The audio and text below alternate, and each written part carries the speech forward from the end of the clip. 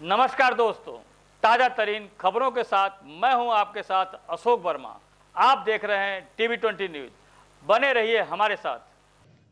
निजामाबाद थाना क्षेत्र के फरिया गाँव निवासी भाजपा नेता एहसान खान का आरोप है कि उन्हें जान से मारने की धमकी मिल रही है और उन्हें उनके मोबाइल पर फ़ोन करके कहा जा रहा है कि भाजपा छोड़ दो, नहीं तो तुम्हें जान से मार दिया जाएगा।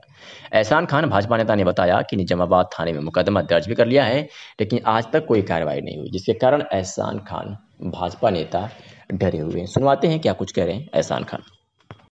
एहसान खान भाजपा नेता फरिया घर है विधानसभा दीदारगंज थाना निजामाबाद तहसील निजामाबाद। क्या मामला है?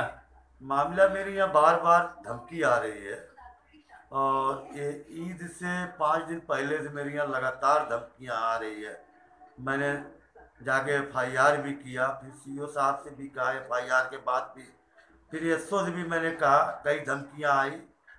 तो इन लोग प्रशासन को भी उल्टा सीधा बोलते थे। और आरएसएस और मोदी जी और जोगी जोगी जी के और अमित शाह जी के खिलाफ इन लोग ट्वीट में डाले तो मैं उसको थोड़ा विरोध किया। उस पर मुझको बोले कि आप भाजपा छोड़ दीजिए, नहीं मार दिए जाओगे। और मैं मुस्लिम हूँ, मैं एहसान खान, मेरा नाम है। मैं भाजपा की राजनीति करता हूँ। और ये सारे लोग जानते हैं, प्रदेश से लेके जिला से लेके सारे लोग जानते हैं मुझको।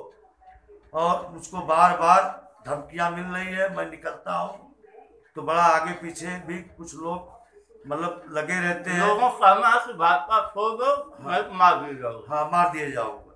भाजपा छोड़ दीजिए और मैं आप आपने एफ़ आई आर वगैरह किया है? हाँ हमने किया है। हमने सीओ साहब को भी चार तीन दिन पहले चार दिन पहले हमने उनके व्हाट्सएप पे भी भेजा है।